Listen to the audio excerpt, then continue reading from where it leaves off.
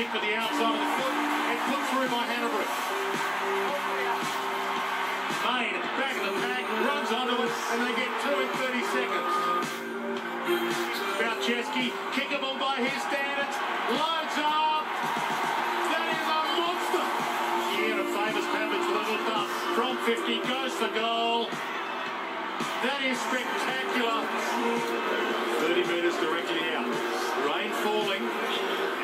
Well. They lead by 27.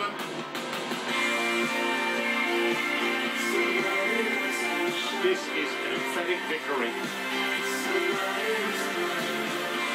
To defeat the Sydney Swans at the SCG for the first time in 14 years, and maybe, maybe this is the best Fremantle team we have ever seen.